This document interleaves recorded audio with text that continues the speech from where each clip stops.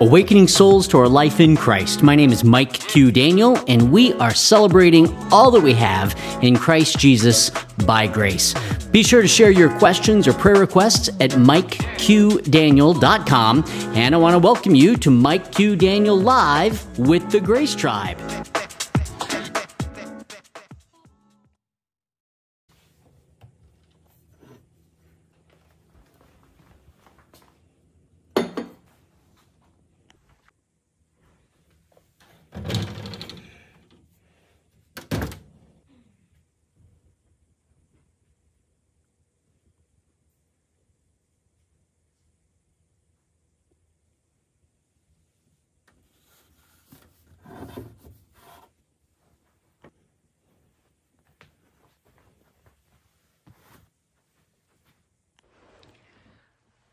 Me ask y'all a question. What has value?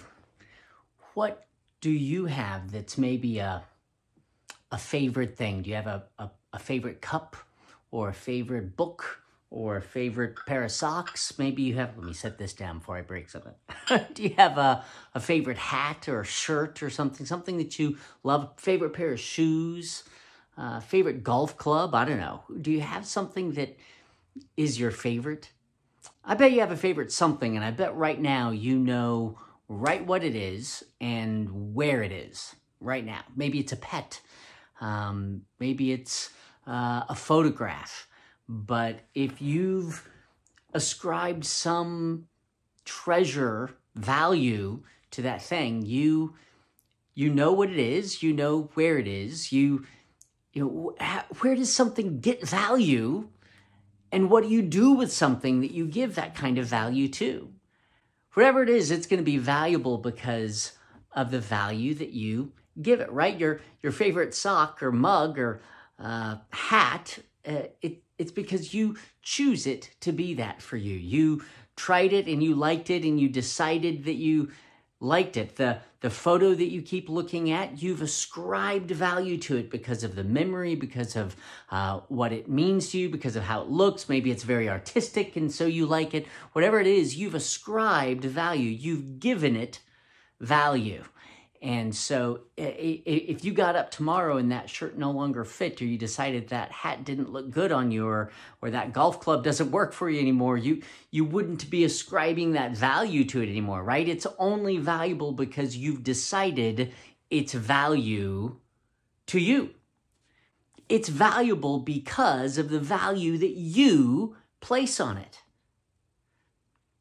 God's done this incredible thing. David in Psalm 62, verses 7 and 8 says, My salvation and my honor. What makes me safe and what gives me value. My salvation and my honor depend on God. He's my rock and my refuge. Trust in Him at all times you know, he doesn't just say to trust in him. He's saying that he, I'm dependent upon him to keep me safe, right? To make me secure, to give me salvation. I'm dependent upon him for the honor, the value, the cherishing. What he does with me is protective because he honors me. I'm dependent upon him for that. He's my rock. He because he values me, he's my refuge. I'm secure. I'm safe because of the value he ascribes to me, he keeps me safe. So we trust in him at all times, you people. He says, pour out your hearts to him. See, we can pour out to him because of his value of us, his interest, his concern, his adoration, his affirmation, his value toward us means we get to pour out our hearts to him. See, he cares about us, for God is our refuge. You should go and read it. It's Psalm 62, 7 and 8. David is saying that it depends, these things that we have depend upon him. You don't cause your salvation, it depends upon God. You don't cause your own honor. It's not what you earn from him, it's what you're dependent upon him for. If it depends upon him, then if he doesn't do it, guess what? It doesn't happen. This teacup no matter how valuable it is, or this. I pulled out one of my favorite books. This book, uh, it's a C.S. Lewis anthology. It has some of his best work, some of my favorite in it. Well, this book I value. So because of that, I keep it on a shelf where it has a glass door and some of the things that I value the most, some of my keepsakes. This teacup is in a uh, we don't have a, a, a, lot of things like this, but we have some saucers and teacups and a couple of plates in a uh, a, a china hutch that that has a glass door and a lock, and I'm not sure the lock works, but it's it's it's kept because it's treasured. It's secured because it's treasured. It's protected because it's treasured. He's saying if it depends upon God, then if He doesn't do it, it's not getting done. This teacup cannot protect itself. If I value it, I put it in the, the hutch. I hold it with two hands. I'm careful with it. I pull it out on fancy occasions. We treasure it so we protect it. It's either going to be protected by me or it's not going to be protected. It's either going to be valued by me or it's not going to be valued. And if I value it, then I protect it. But both of those things are going to have to come from me. If I decide this is worthless, guess what? It's not going to be protected. I'm just going to toss it aside and it's going to get trampled under by, you know, anybody walking by. But because I ascribe value to it, I put it in a safe place. I keep it in a place where it is treasured, where I can enjoy it and use it for its purpose when I want it. It's special to me, so I keep it special to me. If it depends upon God, then He has to do it. If He doesn't do it, it's not getting done. My salvation, David is saying, and my honor, what, what brings me value, what elevates me, it depends upon God. He's got to do it or it's not going to happen. He's my mighty rock, my refuge. Trust in him at all times, you people. Pour out your hearts to him, right? He values you and treasures you, uh, for he is our refuge. He's going to keep us safe because he's the one that's given us the value and he's the one that's given us the safety in the first place it's amazing to me that we say, you know, salvation as if it's just some ethereal spiritual thing. What keeps you safe? What keeps you safe? What does safety look like to you? Salvation just means kept safe, made safe. Have you been made safe? Has God made you safe? How would you live if you really believed He's made you safe. He has secured you. He is your protection and refuge. So much of our strife today is based on fear, isn't it? We're uh, responding to circumstances out of fear and insecurity. We're defensive out of our need to feel secure about ourselves, to justify what we think might keep us safe or give us value. It's this defensiveness and insecurity, these fears turned upside down uh, that can only come from Him. And so we're desperately trying to secure ourselves and protect ourselves and defend ourselves and justify ourselves. And all of that comes out of fear. What if we knew we were secure, safe, saved, by Him who gives us honor and keeps us safe. Not only does it only come from Him so that we can feel secure and stop living out of insecurity, but since it comes from Him, it's not coming from anywhere else. And we can take hold of this idea that if He's not going to do it, if it depends upon Him, then he's got to do it. And if he's not going to do it, it's not going to get done. It depends upon him. So listen, not only do I believe he's kept me safe, but I believe there is no other safety. It's got to be from him. What about honor? What about our honor, our worth, our value? Are you cherished by God? Does he honor you? Does he give you value does he ascribe to you? Worth? Are you the cherished treasure, the beloved of God? Yeah, these are kept behind a cabinet. It's not just that I like to use them, it's that because they're valuable to me, they have their own place. They're special. They're actually most valuable to my wife, but what's valuable to her is valuable to me. Isn't that wonderful? What's valuable to you is valuable to God. Should you see less value in yourself than he does? A false humility feeling, oh, I have no value. I have no worth. I, I, there's nothing valuable about me. It's all God and not me. If I deny the very value that he ascribes to me, then why would I ever trust him for my salvation? Should you see yourself as less valuable than the value that Christ has ascribed to you? In marriage conferences, I often compare uh, husbands uh, at to uh, like a canteen. This is a Yeti cup, something else treasured by my wife. This big old heavy duty, keeps cold, keeps hot, could take a bullet, throw it in your backpack, throw it in your car, throw it in your back seat. It it's uh, this heavy duty utilitarian kind of cup. Men are like canteens, I say, and wives, husbands are like canteens, and wives are like teacups. Well, which of these do you think has greater value? Which one of these needs protection?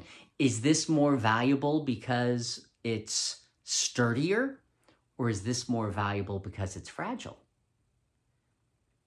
So when I do marriage conferences, I talk about, you know, men are like canteens, women are like teacups, that they are our when when Paul describes our wives as weaker vessels, he doesn't mean weak like they can't do anything. He means precious, worth caring for, something worthy of tenderness. We're called the bride of Christ. Do you think he cherishes us less than we're called to cherish husbands to wives? He's the one that gets it done. We're the ones that he ascribes value and protects and cherishes and keeps and has a special place and a special use for. For me to take this cup and this saucer and put it in its cabinet behind a locked thing and, and pull it out only when it's going to be used for the purpose for which it is made and for which I treasure it. Listen, that's the very essence of holiness. It is set apart for its purpose. It is kept and secured, designed, and edified for the very purpose for which it has been made. So, again, that false humility that kind of undermines his glory of grace in your life is us seeing less value, our denying the value that God has ascribed to us. That doesn't glorify Him, say, oh, I have no value. It's all His value. But He is the one that values you. God is the one who values you. He's not wrong. You have value to Him. He gets to decide what you're worth to Him, and He did with the blood of Jesus Christ. You're worth that. He is happy with what He got for what He paid, and what He got was eternal relationship with you. And he cherishes you. He has kept you. He has secured you. That it's a false humility again that undermines his glory by grace in your life that says, I'm not as valuable as God treats me. He's just pretending because he's nice. Isn't his grace that good? Doesn't his grace glorify him? In our lives, God cherishes you. You don't have to tell yourself some haughty affirmation of how great you are. I'm not saying, oh, I'm great, I'm wonderful, I'm good, I do great things. Forget that. How about telling yourself that you are cherished, precious, built up, designed, intricate, adored, valued, secured, kept?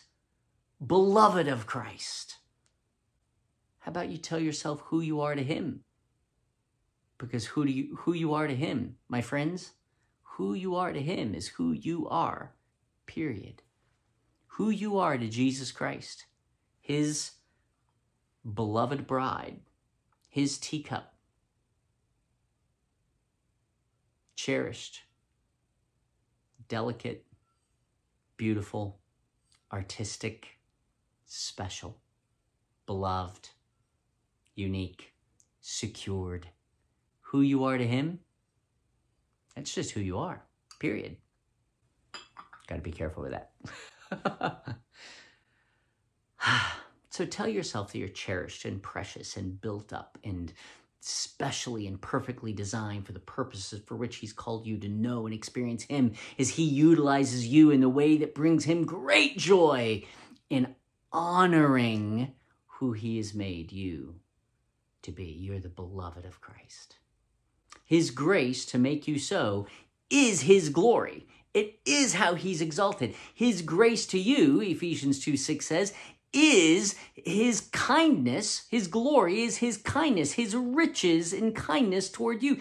It's his grace that glorifies him. So if we deny what his grace accomplishes, we're robbing him of his glory in our own experience. Let me say that again. If we're denying the effectiveness of his grace and his kindness and what it effectively has done in my life, then we're denying the very glory of God by that grace in our experience. Receive it to the glory of God today. Listen, He's got you safe and secure in Christ. He is the one upon whom you're dependent.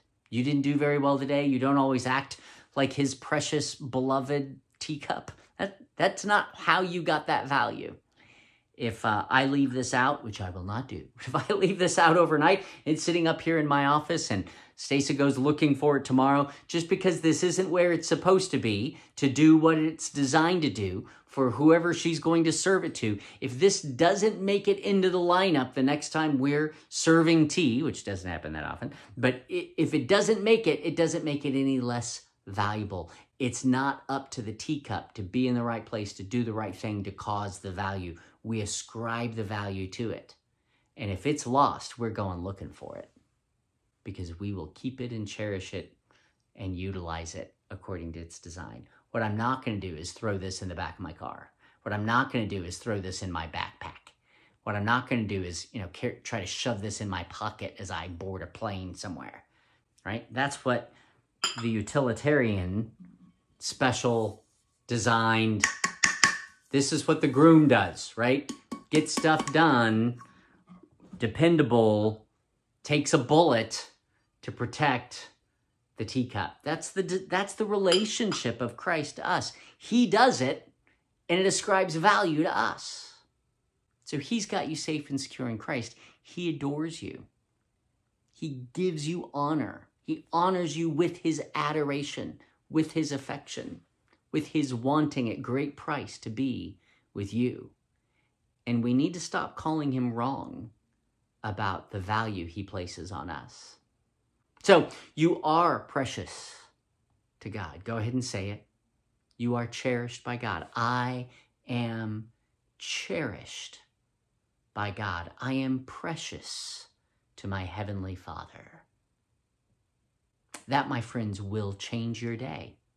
That's going to draw your focus. To be beloved and know I'm beloved will draw my thoughts and focus and intentions into that relational dynamic with Him where His grace meets my faith, His uh, sufficiency meets my receptivity, His empowerment meets my willingness. That's grace and faith to the glory of God. So it will change your day to receive your belovedness is true. You're beloved whether you receive it or not, but you're not going to experience what you don't believe in your own life. So it will change your day. It will draw your focus. It will grow you up in a more mature relationship with Christ, the groom of the bride that is the church. It will empower you to love as you've been loved, to treat others as the beloved of God that they are, to love like crazy, just like you are. I hope that that encourages you today. My hope is that you will embrace the great things of this life that you enjoy as God's gifts to you as a token of his enjoyment of you, a token of his affection to you. Because the books and the teacups and the Yetis and the cars and the music and the guitars and the whatever, the paintings, all of the beauty of this life and all of the hardship of this life are not the substance of life in and of itself. They're meant to draw us into the dependence of Christ, who is our refuge, who is the one who we depend upon for honor and salvation, for security and value.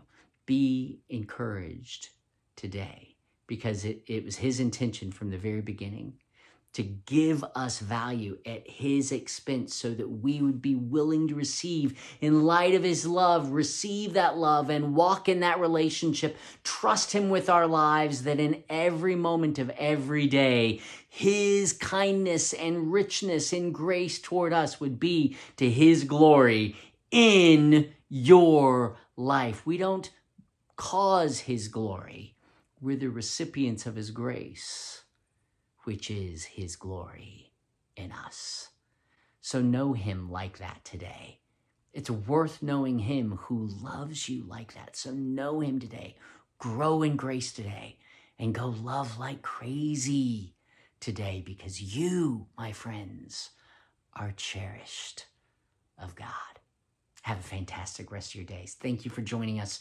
See you in the next broadcast, live Tuesday, Thursday, and then these uh, Sunday sessions each Sunday morning, all at 8 a.m. Central Time. Love you guys. Have a fantastic rest of your day.